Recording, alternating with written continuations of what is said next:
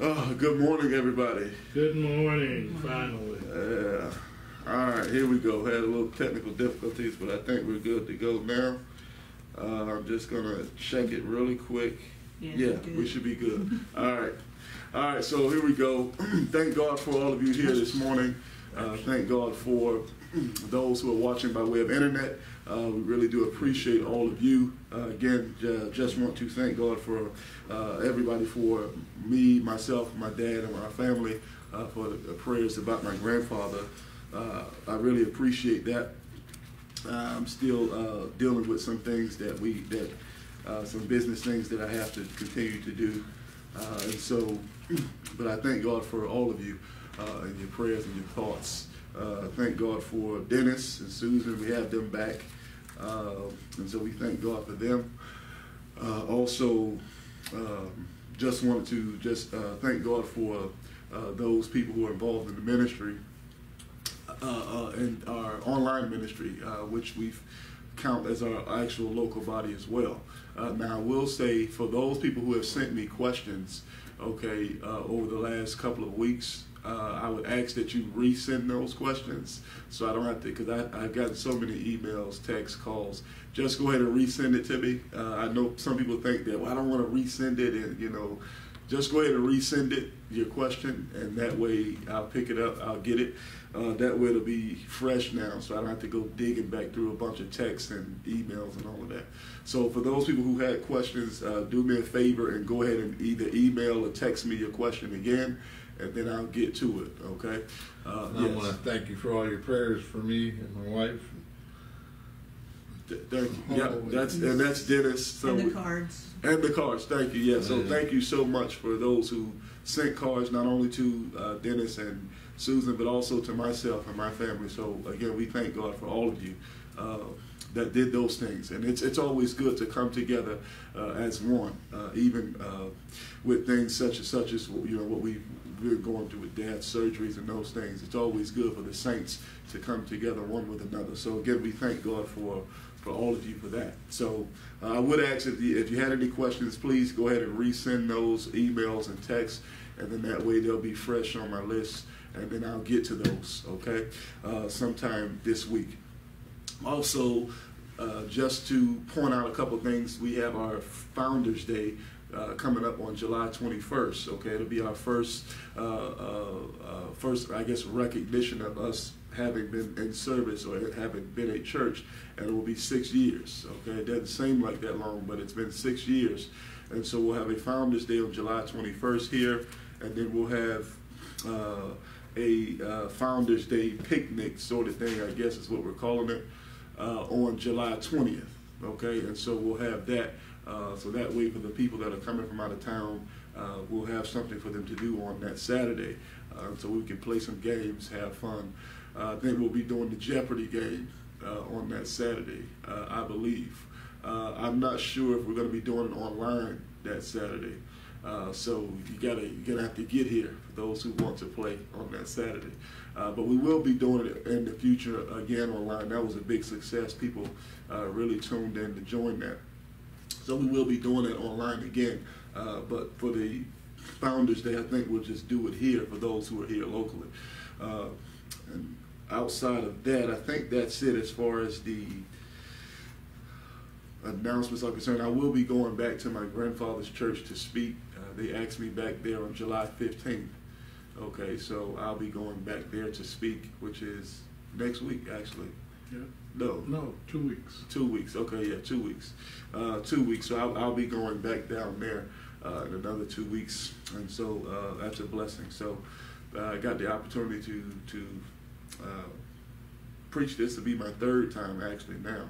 Uh, so so that that's good. And they also want me to do like a Bible study with them. So I may have to wait and take some time off and do like a weekly Bible study with them. Uh, Are we so- gracing them? Yeah, oh, uh, absolutely. That's what I'm- I'm not compromising the gospel. That's what I'm saying. for anybody. So, to- yeah, yeah, yeah, yeah. We're switching them over. Right, right, right, So right. you Yeah. take your time. Right, right. You might have to go down there a couple of Sundays.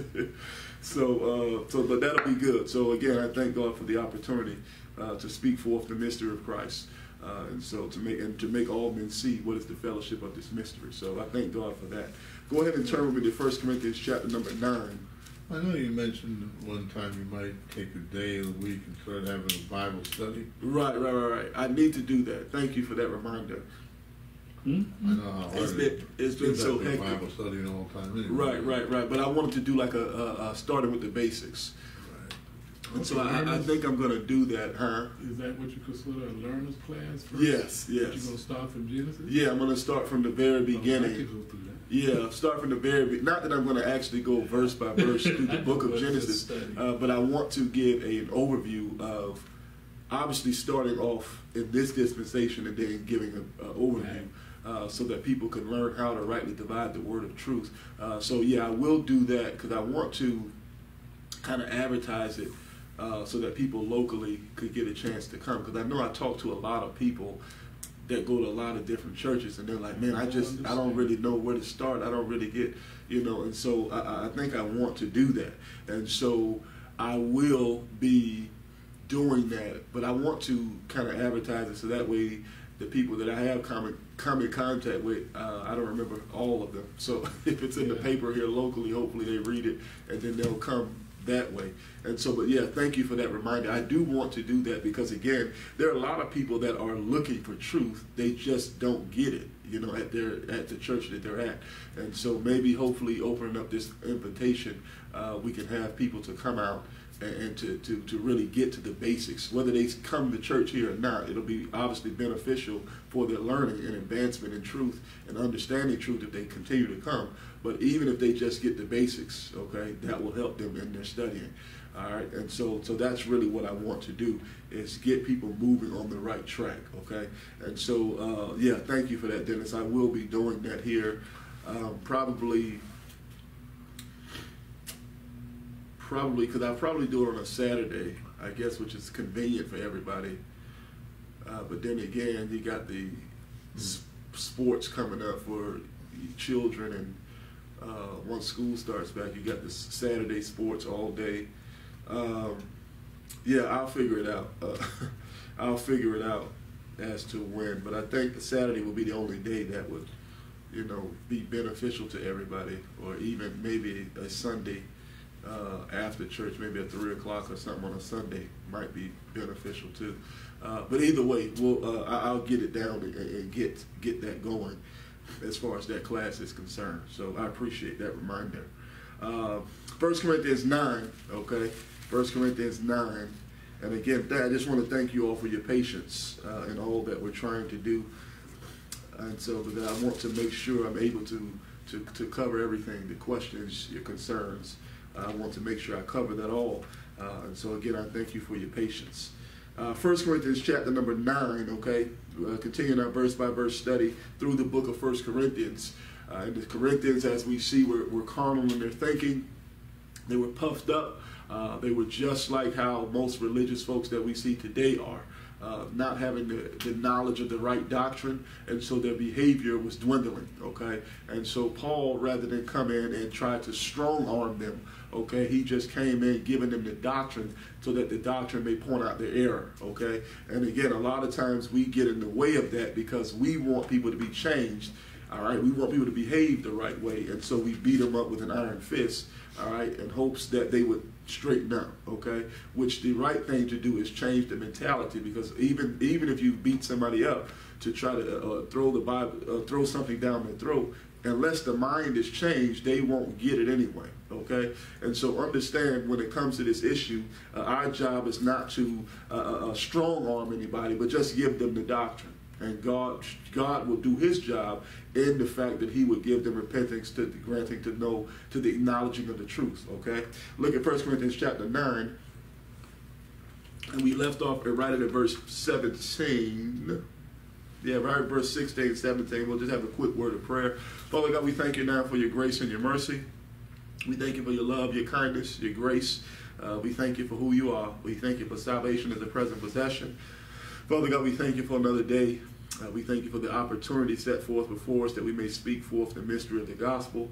Uh, we thank you now for your spirit, which maketh intercessions with groanings that cannot be uttered, uh, because we don't know what we ought to pray for as we should. Uh, so we thank you for that. We thank you for all that you've done for us. Uh, Father God, if you don't do anything else for us, you've done more than enough. And we thank you for that now. Uh, we ask now that you give us uh, spiritual insight and understanding of your word as the Holy Ghost teaches by comparing spiritual to spiritual. Uh, help us to uh, deny self that you may increase. Uh, Father God, we ask now that we uh, study your word line upon line, precept upon precept, that we may get the understanding that we ought to get uh, so that we can live peaceably upon all men and that we can go out to share the gospel to others.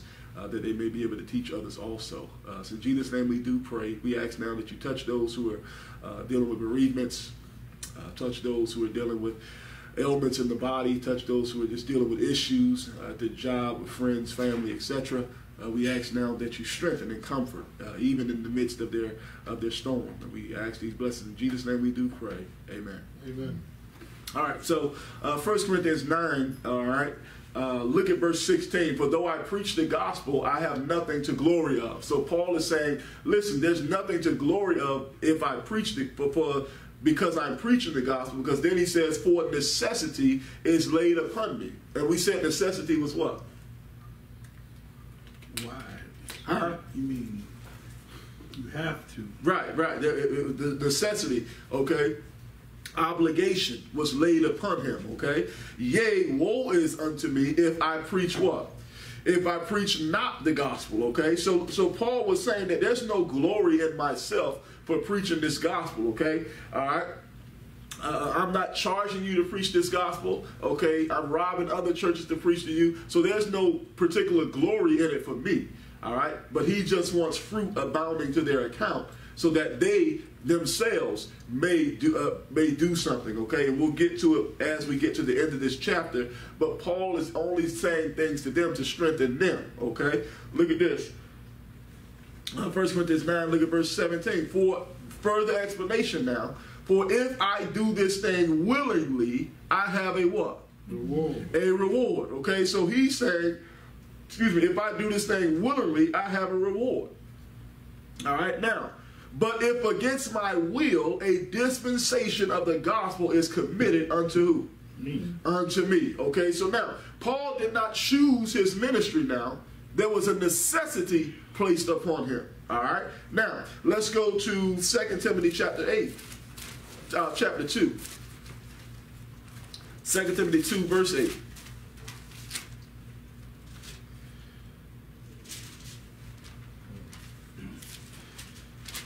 Go to 2 Timothy 2, verse 8.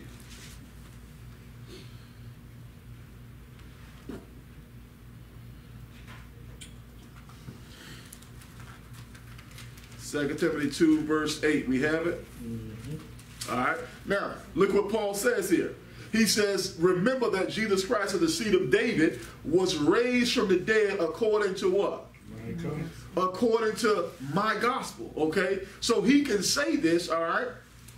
Simply because he was given a gospel that was committed to his trust, and it was necessity was laid upon him that he preached this gospel. So there is no reward for him because necessity was laid upon him. Okay? So understand, Paul did not choose the ministry, God chose him. All right? Go to Acts chapter 9.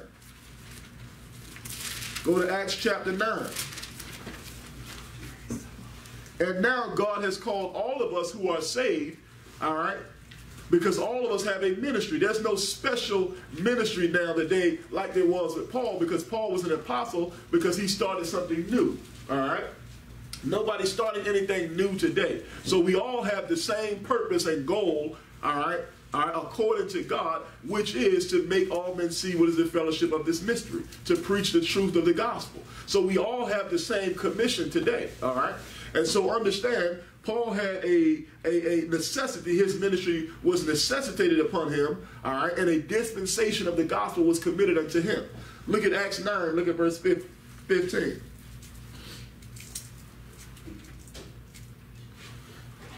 Acts 9, verse 15.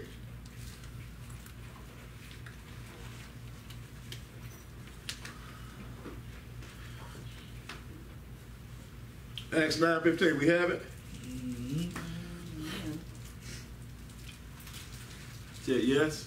Amen. Okay. So, but the Lord said unto him, Go thy way, for he is a what? Chosen. a chosen vessel unto me to bear my name before the Gentiles and kings and the what? Chosen. Children of Israel. For further explanation, for I will show him how great things he must what? Suffer. Suffer for my name's sake. Why is it that people are preaching today that God is going to make you rich, God is going to do all this, He's going to make you in perfect health, you always going to be feeling great? No, no, no. For Christ now, for those of us, Paul said in 2 Timothy 3.12, for those of us who live godly in Christ Jesus, what? Shall suffer persecution.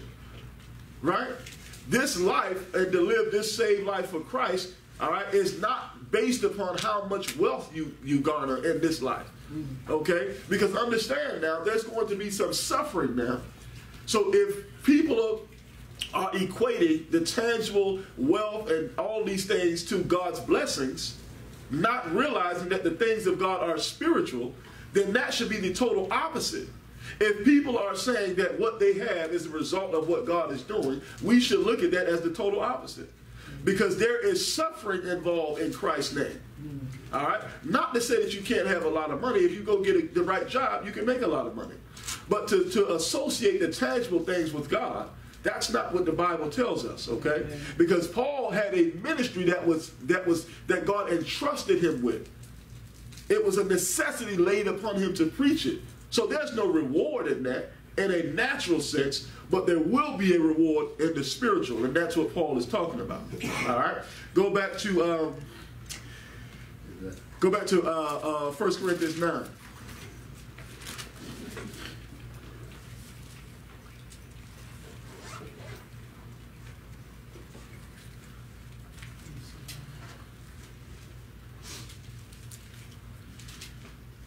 As a matter of fact, go to Acts 22.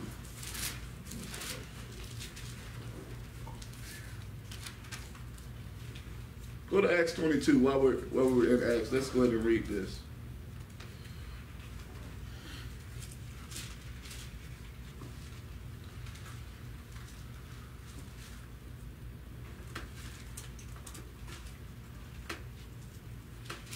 Look at Acts 22, verse 12.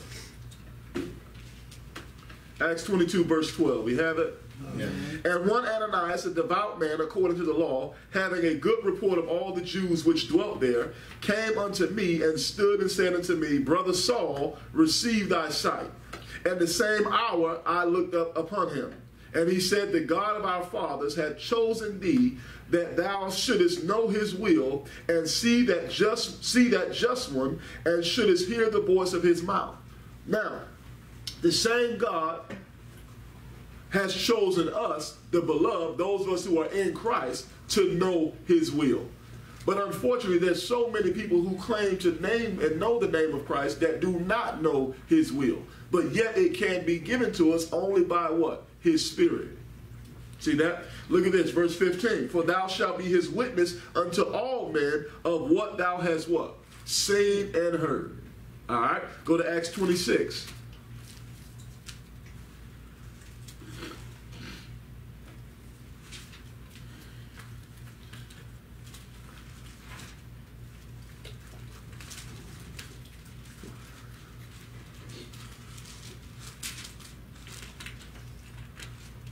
Acts 26, look at verse 16. Acts 26, 16.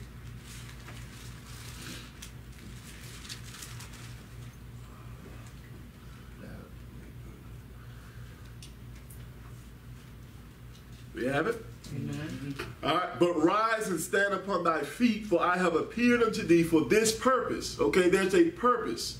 All right? All of these books and that people say a purpose driven life and all these things that people say you have a purpose in life.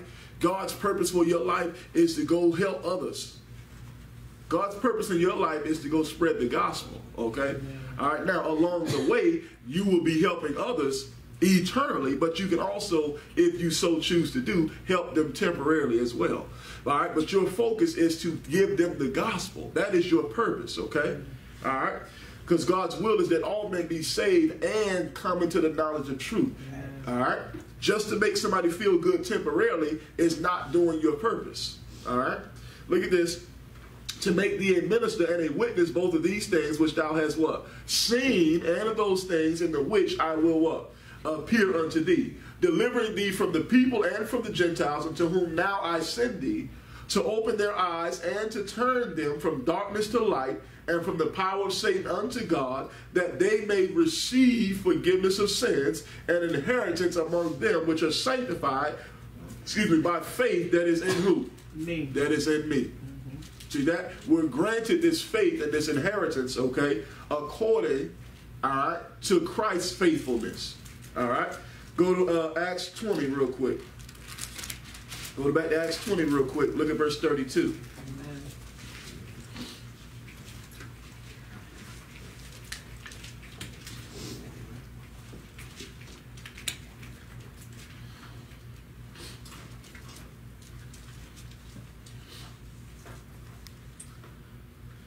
Acts 20, 32.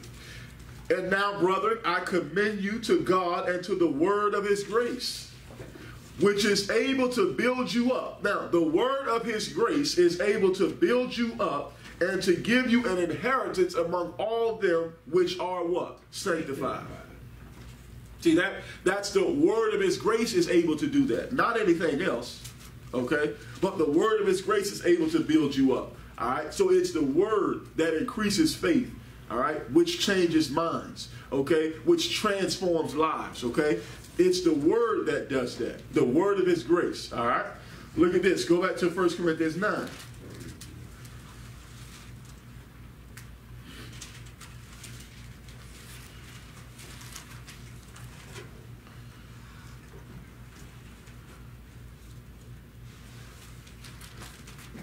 Go back to 1 Corinthians chapter 9.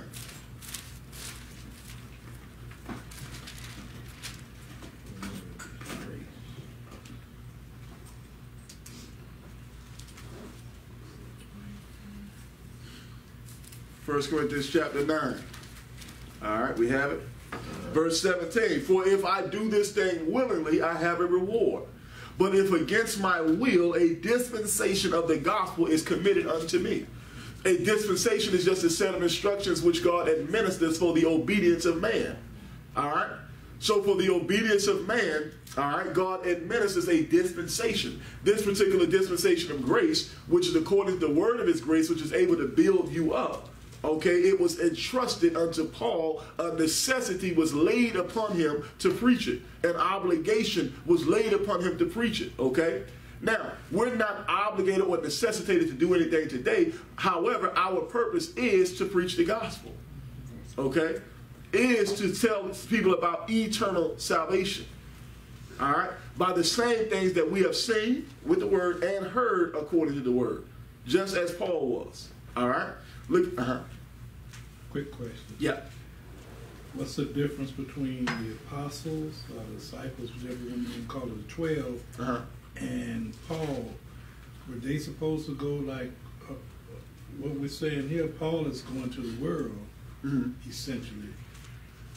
But only thing I heard about the apostles was the Great Commission or something like that. Well, well, no, you didn't even hear that. You heard that from man, okay? Because that they don't. The Bible doesn't speak about a great commission. Now, what you're talking about, where they would go out into all the world, baptizing them, and then now, if you want to use the term great commission, there's a greater commission today in this dispensation. Okay, uh, the greater commission today, and these aren't Bible terms, but because people know these uh, uh, Bible accounts by those words. Okay, so when people talk about the the Great Commission, to Matthew 28, where he says, Go into all the world, baptizing them in the name of the Father, Son, and the Holy Ghost, and I'll be with you forever, world on end. So now, that has to do with when the Israel will be reigning here on earth. Then that's when they will go out to all the nations. But right now, Israel, the Jews, are on the same playing field as Gentiles. There's no special uh, uh, people of God today other than members of the body of Christ. Okay, so now the difference uh, in, in, in regards to that is there's a greater commission today, commissioned through the Apostle Paul, which is to make all men see what is the fellowship of this mystery, Ephesians 3 9. Okay, so now there's a greater commission if we want to use those terms. There's no longer a commission to tell people about uh, uh, if you don't forgive your father, if you won't forgive somebody else, then your father won't forgive you. There's a greater commission to that. Now we forgive because we've already been forgiven. The motivation is different. The doctrine is different. Same spirit, different administrations, as Paul says in 1 Corinthians 12.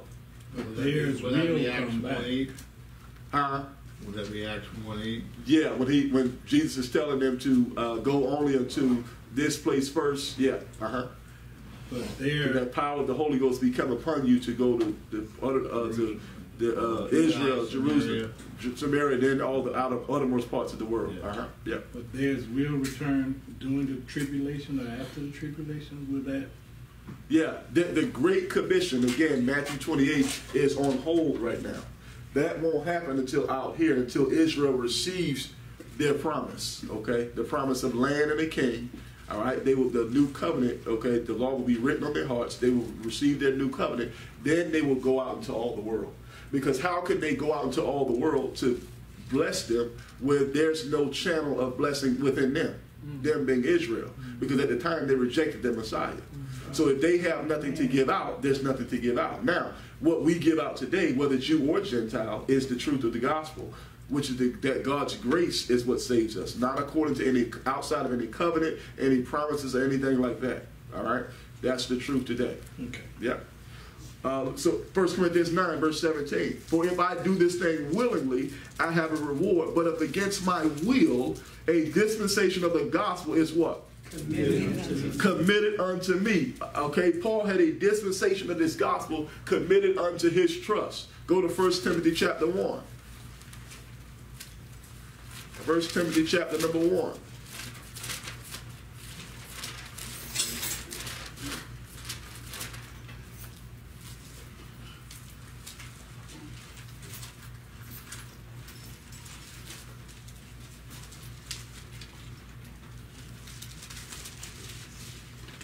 First Timothy chapter number 1, verse 13. Uh, let's start at verse 12. Uh, let's start at verse 11. look at 1 Timothy 1 and look at verse 11. Now, according to the glorious gospel of the blessed God, which was what? Committed. committed to my trust. Okay, so when Paul talks about in 1 Corinthians 9, all right, that there was necessity laid upon him. Woe is it to him if he does not preach the gospel. Okay, all right, this glorious gospel was committed to Paul's trust. Verse 12, and I thank Christ Jesus our Lord who hath enabled me, but that he counted me what? Faithful. Faithful, putting me into the what? Ministry. Okay? That's what it's all about. Remember now, Paul says, stay with me there, go to 1 Corinthians 4. Keep 1 Timothy 1, but I'm going to make this point here, and then I'm going to jump right back. Go to 1 Corinthians 4, verse 1. 1 Corinthians 4, look at verse 1. We have it? Mm-hmm. All right. Let a man so account of us as of the ministers of Christ and stewards of the what? Mysteries of God. Stewards of the mysteries of God. Moreover, it is required in stewards that a man be found what? Faithful. Faithful. Okay? We ought to be found faithful. All right? And as we get to the end of 1 Corinthians 9, Paul is going to talk about this reward. All right? Although there's no reward or glory in himself, because this was this thing was committed unto him. All right, but there is a reward, and we ought to be found what faithful. All right, go back to 1 Timothy chapter one.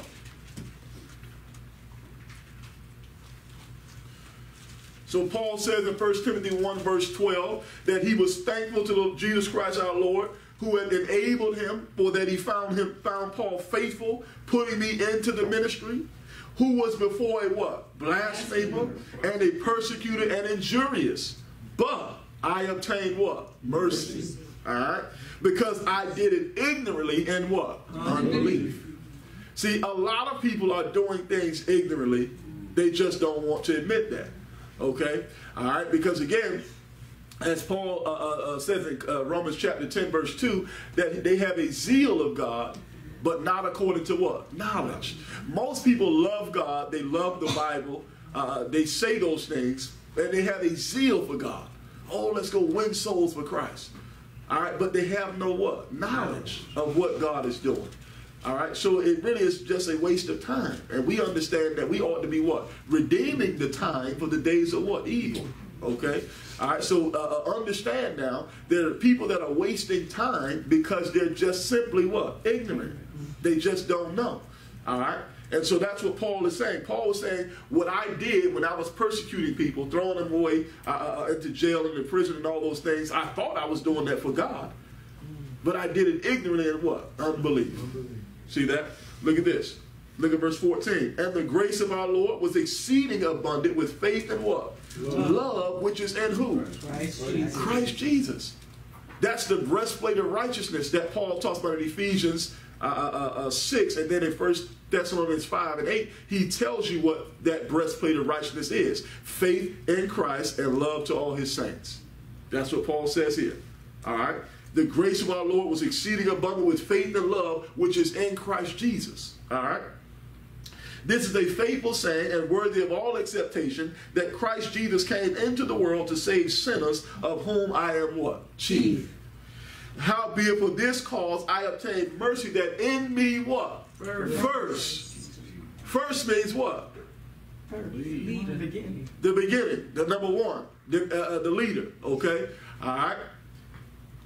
If you're not first, you're last. All right, uh, uh, Ricky Bobby. All right. Uh, if anybody ever seen Talladega Nights, all right, one of my favorite movies. All right. So now, when it comes to being first, all right, everybody wants to be first. Now, Paul is going to get to it in 1 Corinthians 9. He's going to talk about running a race. Okay, and when you run a race now, you're not running the race just to say, "Ah, oh, this let me place by third.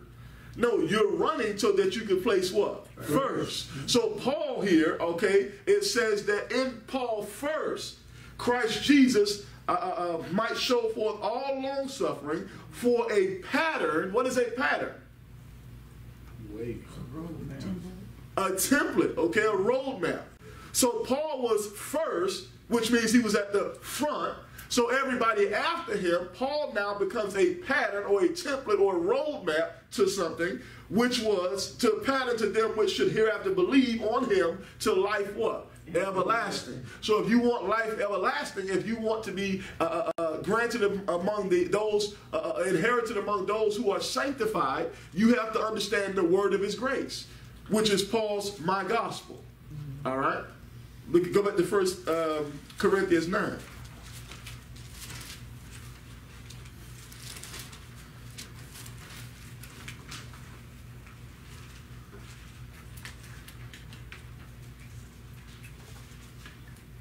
I was saying kind of ties in too when Paul said he's a wide master builder. Right, right. He said he had laid the foundation as he was concerned to the grace. Right. To show that, you know, the pattern of him laying that blueprint. Absolutely, absolutely. Uh, and, and, that's exactly why it comes to understand, and we're going to get into 1 Corinthians 3 in just a second, where Paul talks about reward, okay? Also Romans 2, 16. Right, right. Where Paul says, in, the day well, men shall be judged, okay, according to my gospel, okay? Secrets. The secrets of men shall be judged according to my gospel, right? Romans two sixteen.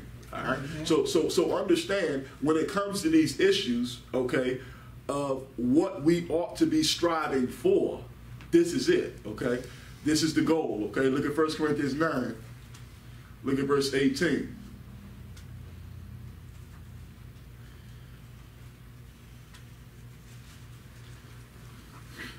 Look at verse 17. For if I do this thing willingly, I have a what? Reward. Reward. But if against my will, which is the case, because isn't it against his own will? Yes.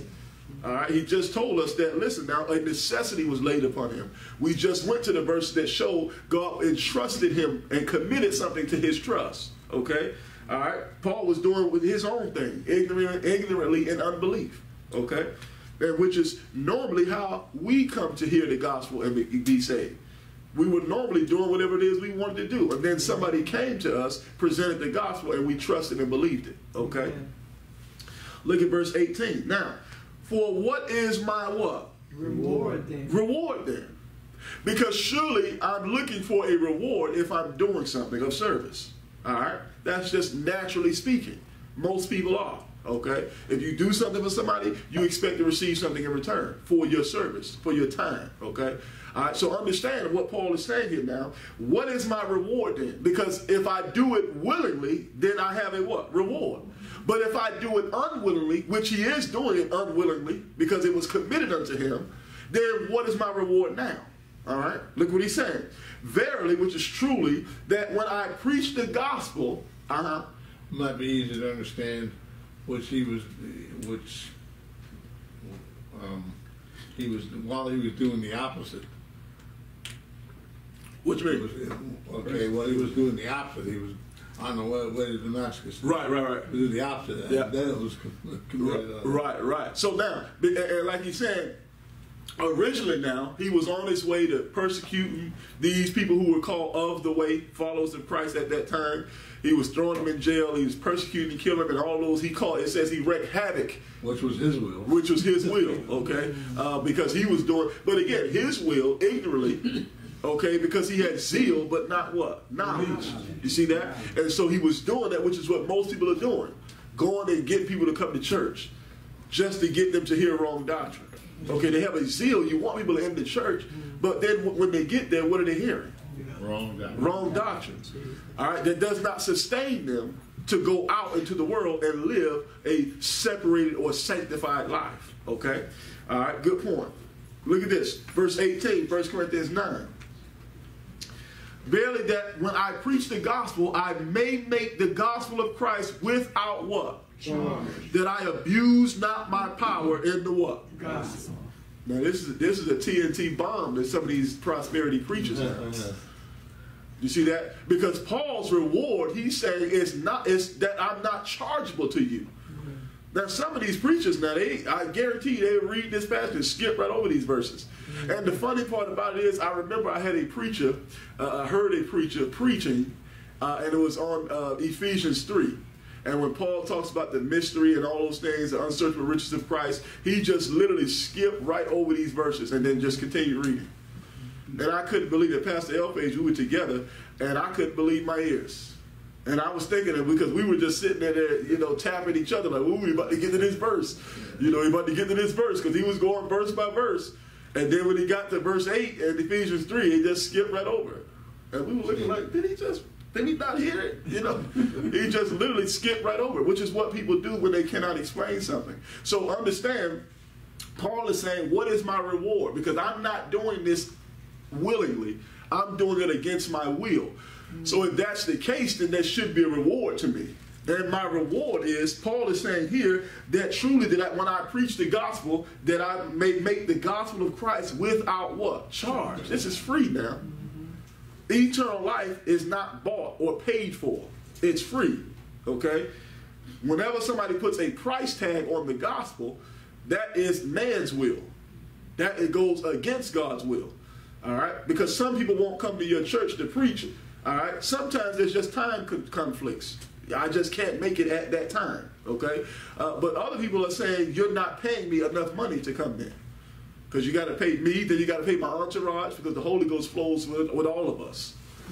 You know, that's what, that's what they say. So now you got to pay all of these people for the free gospel to be preached. Then when they get there, they don't give you the right gospel. They don't give you a bunch of entertainment, all right, and fleshly emotion, which again, that's what people pay for. Because when you go to a concert now, I know some of y'all are so holy you don't really go to those things. But when you go to a concert now, all right, all right, you going to go to little Frankie Beverly and Maze, all right, you want to get your little two-step on.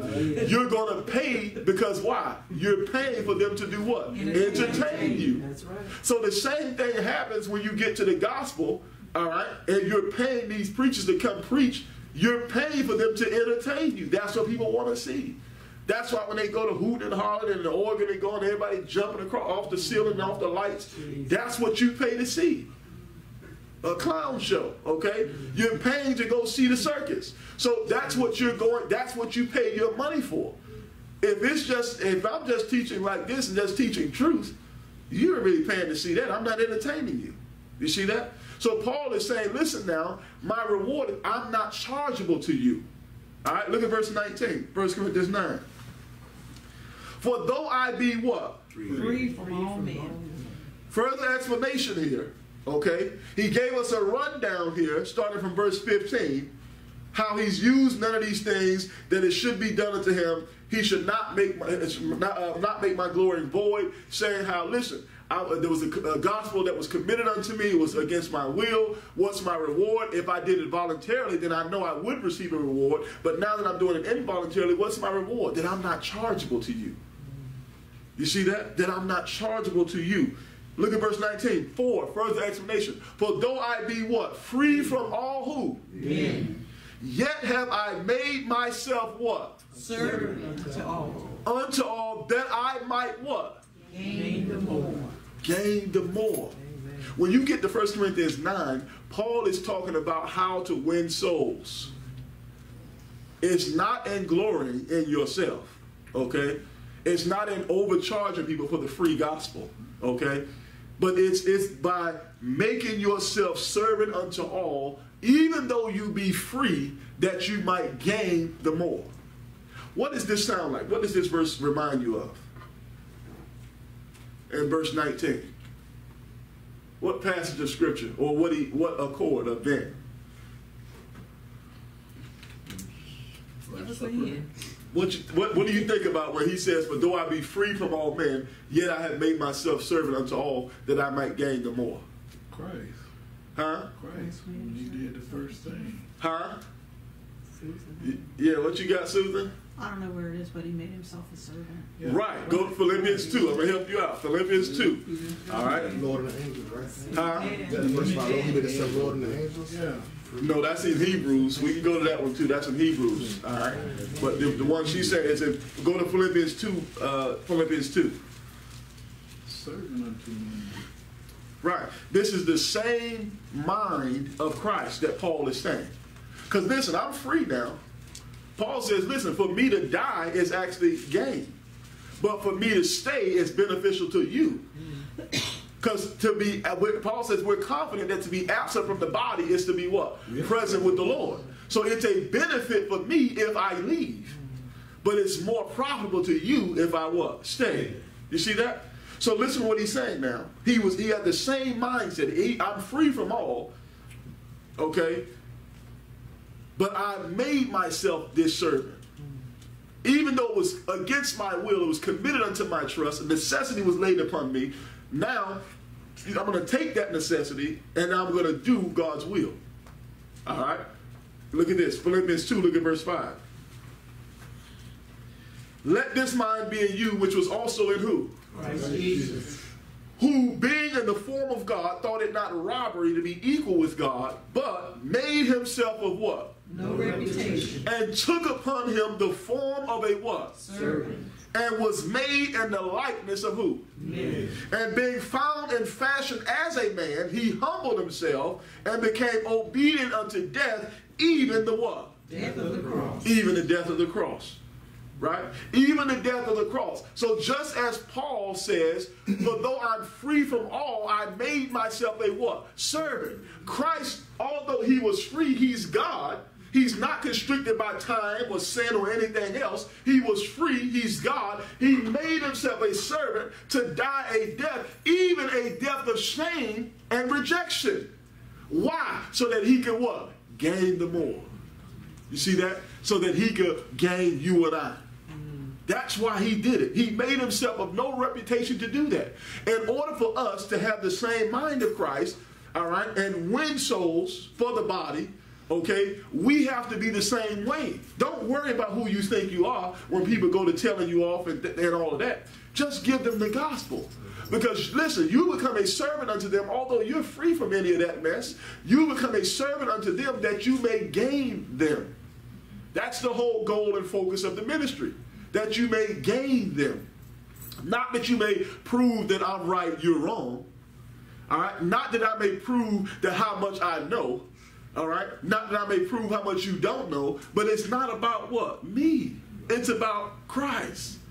You see that? So, so we do these things, all right, and become servants and teach the truth of the gospel so that men can be what? Saved. Because that is God's what? Will. You see that? That is the whole focus and his will, okay? All right, Paul wanted to gain the more because he wanted to become more like Christ. Okay? Go back to uh, uh, 1 Corinthians chapter number 9.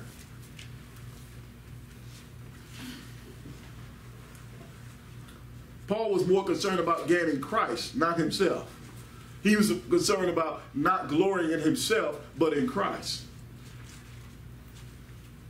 He says, Let, uh, uh, uh, uh, lest I should glory in anything save for the cross of Christ. Okay, in, in- Galatians. All right, look at 1 Corinthians chapter 9, look at verse 19.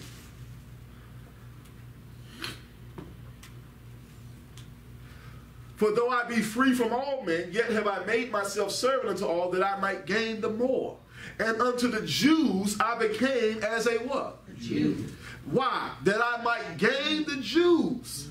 To them that are under the law, as under the law, that I might gain them that are what? Under the law. Under the law. Why was he doing this? So that he could gain the more. Paul was keeping vows, Jewish vows, and all these things. Having people, people always say, well, in Acts, Paul baptized. Paul even had somebody circumcised in Acts. But if you want to know what Paul is saying and what Paul is doing, you have to go to Paul's epistles.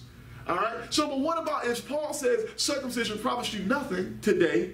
Why would Paul have somebody circumcised? Now, who did he have circumcised? Those who believed in it. That was somebody specific. He had one person circumcised, but then he had another person not circumcised. I feel Barnabas, which one? Huh? Timothy or Barnabas? I, rem- I remember. Stephen. What you got? What you got? Huh? Trivia question. Timothy or Barnabas, one of them. okay, so who was what? You might be on to something. Timothy wasn't. Huh? No. Stephanus. Oh, that was baptism. Uh-huh. You said Timothy what? Timothy or Barnabas. Timothy wasn't because Timothy wasn't a uh, Jew in a sense. All right, you, you, you're on the right track. All right, think like this. Who did he take with him that was a Jew? Barnabas. Barnabas. And who did he take with him that was a Greek? Timothy. Timothy was the Greek. Barnabas Was Timothy a Greek? No, no, hold it, hold it. Let me make sure. No. That's a lie. Mm-mm. Timothy was. His uh, dad was a Greek and his mom was uh Who is that? that's um So, Yeah, I- y'all, y'all, y'all, I mean, y'all right there. Y'all right there. Go to Acts 16. Timothy is was that and. Eunice was his grandmother and Right. Lois is his Who is mother. that? That's That's Timothy. that is Timothy. That's Timothy, okay? That's right. yeah. So was Timothy circumcised or did he not have him circumcised? he wasn't be because his mother was He wasn't? Jewish, No. Huh? but his dad was. Yeah, who was that? And His what? his father was Right. So would he have been constrained to be circumcised or not? No. He wouldn't have been. Go to Acts 16. He was Roman, so he would have. Go to Acts 16. Let's look at this. I know he did one and one the other one he didn't. Barnabas- all that. Praise the Lord, Full Son, parade. Spirit. Look at Acts 16, verse 1. We got it? man.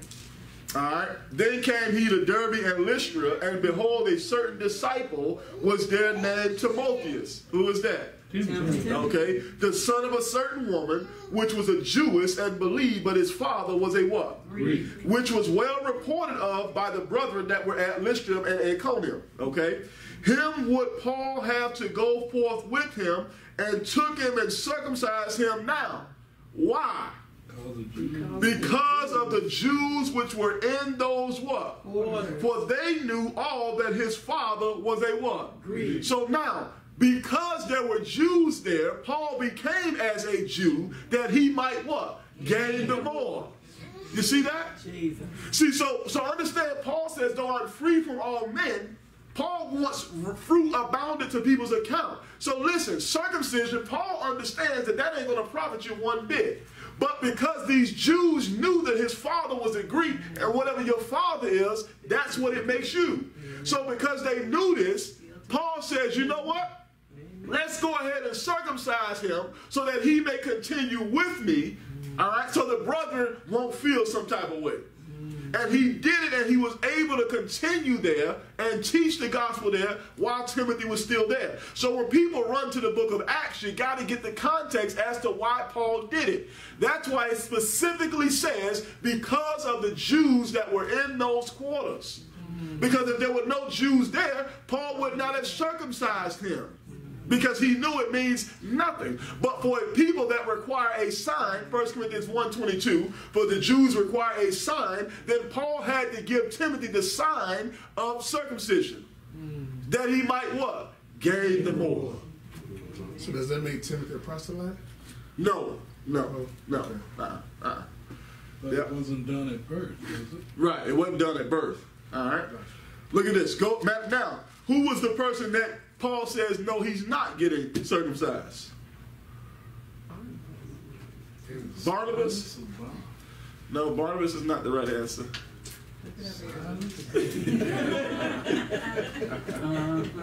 Go to Galatians 2. It was a Greek, though. It wasn't who? It was a Greek. It was a Greek, but who was it? Can't remember his name. It was it Mark? Who?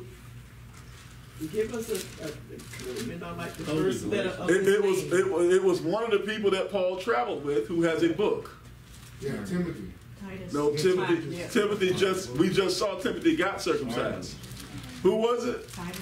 Titus. That sounds about right. I don't know though. Let me see. I don't know. go, to, go to Galatians two. the only thing. They just want the books. That's it. Go to Galatians two. He traveled with somebody else. too. But he doesn't have a book. He's the one that has a book. Titus is one of those. All right. Look at Galatians two. Look at verse two. Uh, verse 1 Then Paul, then 14 years after I went up again to, Jeru- to Jerusalem with Barnabas and took what? Titus. Titus with me also, and I went up by revelation and communicated unto them that gospel which I preach among the Gentiles, but privately to them which were of reputation, lest by any means I should run or had run where. In vain. Remember, Paul is not running in vain to say, let me just come in third and fourth, but he's running to do what? Win the race, to become what? First. All right, look at verse 3. But neither Titus, who was with me, being a Greek, was compelled to be what? And that because of false brethren unawares brought in who came in privately to spy out our liberty, which we have in Christ Jesus, that they might bring us into what? Bondage. That's what people do. Circumcision didn't benefit Timothy and wasn't going to benefit Titus. But Paul did it with Timothy because the Jews. He didn't do it with Titus because it didn't mean anything. All right? And so now that's what people do. Oh, so you don't keep the Sabbath? Oh, you don't go to church on the Sabbath? You don't eat this, you eat that, you eat. Listen, they're only doing that to bring you into what? Bondage. They want to spy out your liberty, which we have in Christ, to eat freely, to not observe one day above another. Okay? Let no man judge you therefore in any meat, drink, any holy day. For those things were shadow of things to come, but the body is of Christ. Colossians 2, 16, 17. All right? So now, all right, people do that to bring you into bondage. You're in bondage to those things, not I. Because I'm in who? Christ. And where the Spirit of the Lord is, there's what? Liberty. You see that? Go to first, go back to First Corinthians 9. Quick question. Yeah. Titus. Who was the servant Huh? they were talking about Where? in Titus? In the book of Titus? Yeah, who was the servant? I can't remember. What, what, uh, Wasn't it a servant who escaped and he was supposed to go back to his, uh, That He's was talking about the the, slave. that's the last book of the, uh, Paul's last book. in Philemon, you mean? yeah, but who was he, what, who was the servant? I I don't know. You just coming out of nowhere. So you talking about Titus or you talking about Philemon? What are you talking about? There was a, a, a, a, a servant who had moved, a slave, He and was a slave. that's in Philemon, though, that's what it is. I, I don't really know what you're trying to explain or ask, I wouldn't so know I'm not sure. name was. He but I sounds like the slave that was, um, they had to, to teach him about being a brother or something like that. I can't. Now remember. that would be Philemon, because that's what Philemon. But what's talking the Yeah. name of the slave? Is I think what he. That's what I'm trying to. Uh, I I mean, can't and, and he wasn't a slave. Ananias, Uh, he would have been, because the Bible doesn't talk about slaves. He would have been more of a servant. Servant is the word. All right. So, so, Let me see. So it, it would have been uh, Philemon, though, because that's what Paul talks about in the book of Philemon. Yeah, that's Talking about Philemon. O- Onesimus. Yeah, that's. That's the name. Onesimus. Okay. Okay. So, what was your point about him? I just want to know who it was. Oh, oh okay. all right. First Corinthians nine. Let's go ahead.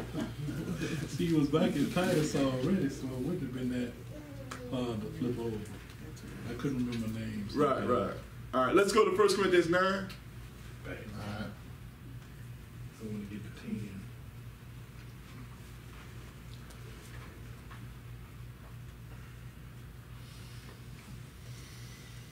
All right, look at verse 20, 1 Corinthians 9.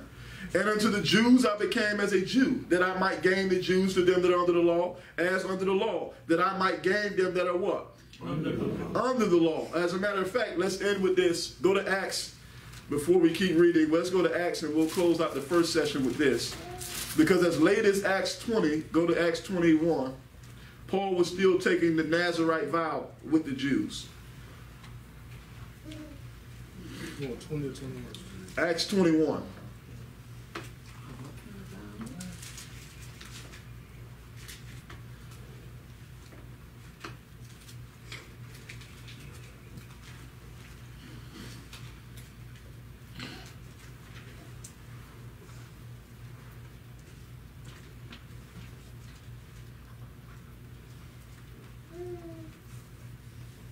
Look at this, Acts 21. Uh, this is Paul going to uh, uh, uh, to the Jews, and they were talking about his ministry among the Gentiles. But look at verse 23.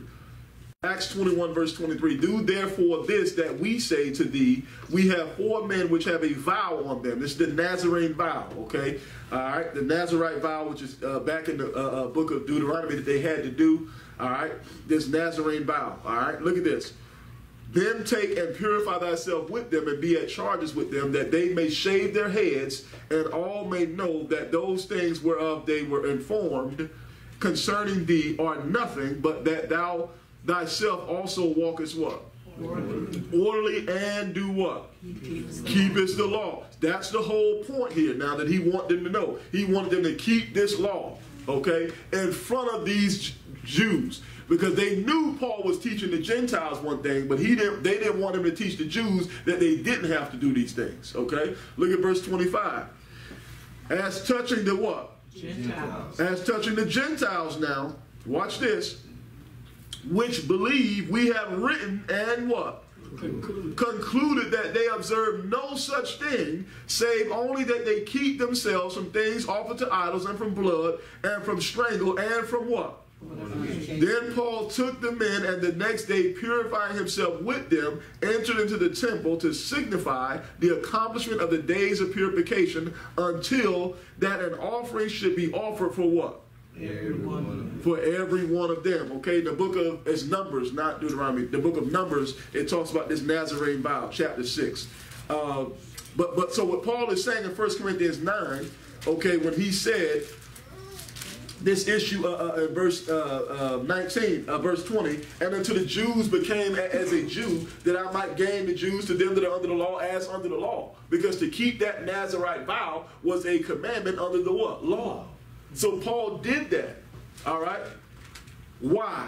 That I might gain them that are what? Under the law. That's why he did it. All right? And we'll get to it. We'll pick this up. Look at verse 21. To them that are without law, as without law. All right, being not without law to God, but under the law to Christ, that I might gain them that are without law. So when Paul says he became without law, what is he talking about? Hmm? Did he just break rules? What do you mean? He says, To them that are without law, I became as without law, so that I may gain, gain them without law. So he was just breaking rules just like they were? Gentiles. Talking about No. Gentiles. Huh? Talking about Gentiles. Okay, so so was he just pur- just purposely breaking laws because they were so that he could gain them? Which law? No, no, I think what he said in Roman, he said, uh, when, when he said, uh, God forbid, but he was saying something about now we have the power to establish the law. Okay. So basically, he's not breaking the law. I think that was the whole point when he said God forbid it, when he, he was talking about the power of grace and giving the whole rundown of history. So they were like, well, we just go out and I guess make more of the law. He was like, no, we established the law. Right. He That, said without the law, I'm thinking he's talking about as far as the condemnation, as far as his pointing towards us. The Gentiles were never given the law. But they was never under right. the law. Yes. we're- It's not a question of who he's wasn't- talking to. He wasn't enforcing it. It's not a question of who he's talking to. The question is because obviously those without law would be Gentiles. The question is that I'm asking is did he become without law? Because he said he did. What does him becoming without law mean? Did he just break laws because they He broke didn't follow Jewish the transition customs. Huh? He didn't follow the Jewish customs. This is what he Okay. Okay. Because the simple fact, he took off the Sabbath day. He never used that word Sabbath in that either, so that would have been. But Paul kept the Sabbath in the book of Acts. Early. Yeah. When he was talking to the Jews.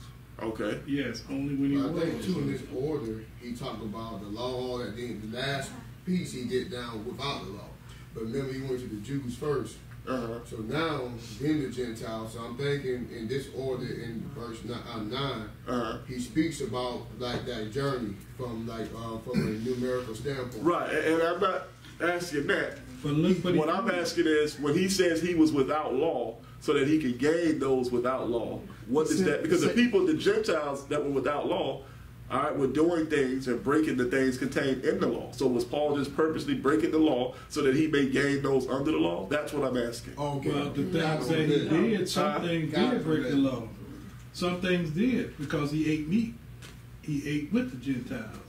That would have been a breaking the law right off the bat. He, he, he, he moved according to what he was to gain the more, like we discussed. That's at the what I'm saying, so when he was had He to. did a certain thing when he was with the other group. He did So when he thing. did those certain things, he just purposely broke the law that he might gain. Now, but just like what I'm saying, he didn't eat meat in certain areas because so that would have At first. Okay. All right. Well, we'll pick, it- we'll pick it up when we But then get he back. became the said master under the law builder, of so he Christ. could. Huh? He said under the law of All Christ. right, that's a parenthetical statement. All right, that's part of the answer. yeah, All yeah, right. yeah. Okay. All right, now we're gonna uh, we're gonna uh, we'll pick it up right when we get back. We'll break for those who are learn. We'll uh, break for about ten minutes, uh, uh, and then we'll pick right back up. All right. So let us pray. Father God, we thank you now for your grace and your mercy. We thank you for this time and this hour that we may come together to redeem the time. Uh, that we uh, study to show ourselves approved unto you, uh, workmen that need not to be ashamed, rightly dividing the word of truth, uh, that we may not be in error, and that we may know you uh, according to your word. It's in Jesus' name we do pray. Amen.